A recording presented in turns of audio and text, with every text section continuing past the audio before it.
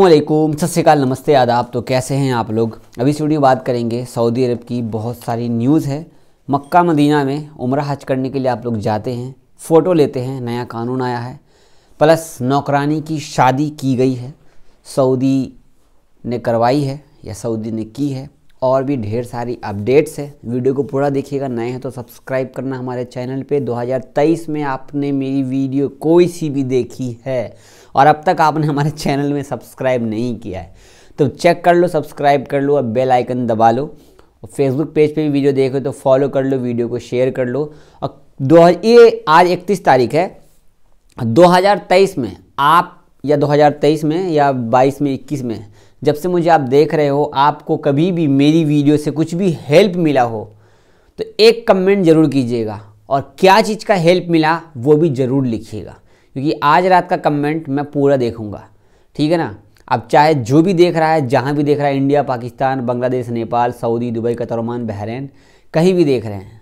खासकर आजमगढ़ वाले जो भाई लोग कहीं से भी देख रहे हो तो कोई भी भाई को हेल्प लगा हो मेरे चैनल पे तो कमेंट ज़रूर कीजिएगा। और नया साल तो खैर हम लोगों का ऑलरेडी आया रखा है। बट अब अंग्रेज़ी का नया साल है तो नया साल आप सबको मुबारक हो, क्योंकि ये लास्ट वीडियो है 2023 की। क्योंकि कल हो जाएगा एक जनवरी, और इस टाइम पे जब मैं शूट कर रहा हूँ, रात का साढ़े नौ बज रहा है। तो मैंने कहा, यार न्यूज़ बना लेते हैं। बहुत बहुत सारे भाई हमारे वेट करते रहते हैं। थोड़ा नया साल के लिए बातचीत भी कर लेंगे और भी ढेर सारी बातचीत कर लेंगे। वैसे आप सब ठीक हो? बढ़िया हो? ठीक ठाक? बहुत सारे लोग परेशान भी हैं, कोई कंपनी में है, कोई कफ़ील के पास है, कोई बहुत सारी परेशानी के अंदर है। खैर, सबकी परेशानी दूर हो। अल्लाह ताला सबसे, सब लोग दुआ कीजिए ज़रूर एक बार एक कमेंट में आमीन लिखिए। प्लस आप लोग देख रहे होंगे, मैं तीन दिन से ये लाल शर्ट पहन रखा हूँ। मेरा फेवरेट शर्ट हो गया है।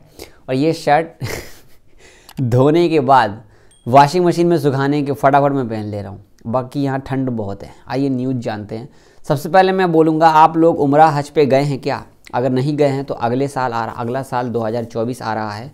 तो इंतज़ाम कैसे भी करके, कफिल से छुट्टी ले करके जैसा जो भी हो, पक्का जाके उम्र कीजिए और पक्का नीयत साफ़ रखिए और आगे का दुआ कीजिए। आगे की अपडेट हम जानते हैं। फ़ोटो आप देख सकते हैं यहाँ पे। सेल्फी लेने के बजाय इबादत में बिज़ी रहें। जो भी लोग उम्र और हज पे आते हैं, शेख शुदैस ने एक बयान जारी किया है। जो कि मक्का, मदीना के, मैं बोलूँगा शॉर्टकट में, हरमैन शरीफैन के जो मैन हैं, जो मंत्री हैं, जो देखते हैं मक्का, मदीना को, जो भी मैन हैं, ठीक है, उनका नाम है अब्दुलरहमान अल सुदैस।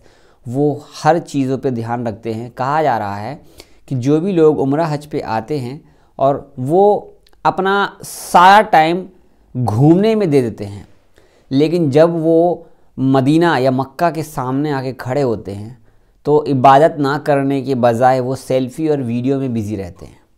ठीक है ना? लिखा है ना, या सेल्फियों में व्यस्त होने के बजाय अपना इबादत में बिज़ी रहें, हिंदी में आ रहा है यहाँ पे। तो ये चीज़ मैंने भी की है बट मैं उम्र पूरा करने के बाद दोबारा से रिटर्न होकर मैंने वीडियो शूट की। तो हम हम लोग ना एक्साइटेड हो जाते जैसे पहुँचते, फट से पहले सेल्फी क्लिक करते ना, पहले पहुँच लीजिए, अच्छे से देख लीजिए देन दोबारा से रिटर्न आकर के अपना फ़ोटो क्लिक कर लीजिए, सब कुछ कर लीजिए। क्योंकि जो फ़र्स्ट इम्प्रेशन होता है इज़ द लास्ट इम्प्रेशन होता है। और आपको नहीं पता आपके एक मिनट के टाइम से किसी दूसरे लोगों का भी टाइम ख़राब हो जाता है।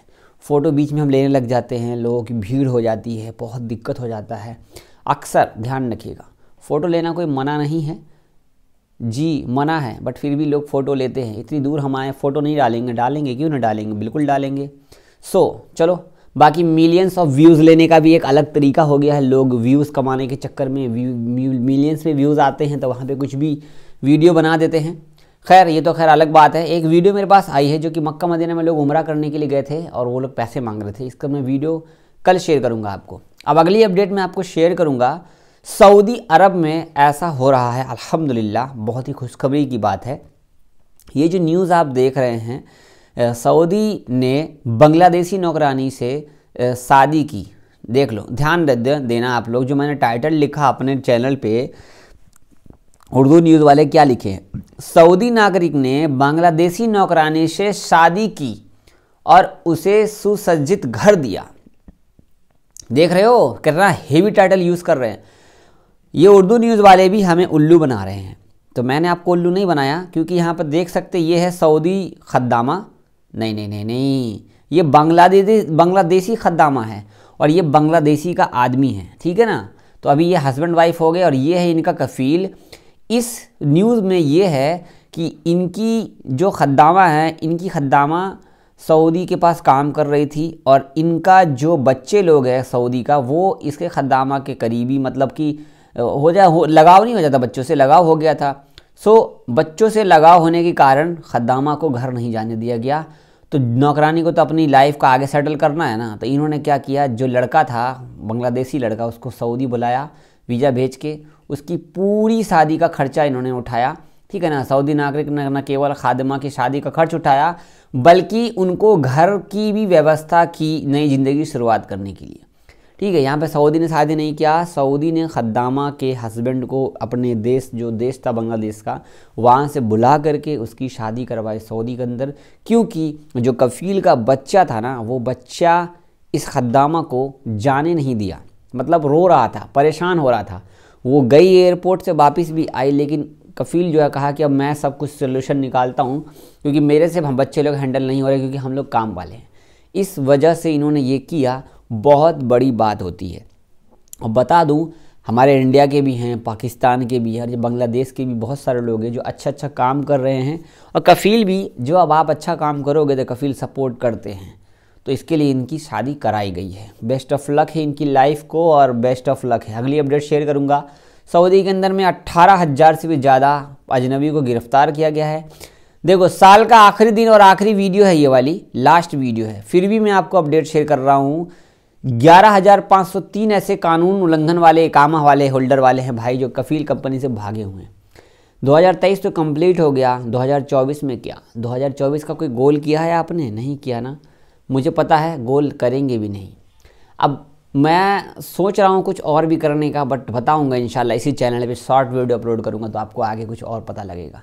खैर, बहुत सारे भाई परेशान हैं, अल्लाह आप सबकी परेशानी को दूर करे। अगली अपडेट, इस साल इस साल जी, इस साल एक हज़ार मतलब एक लाख अंठावन हज़ार काम करने वाले लोगों की बढ़ोतरी हुई है, ठीक है?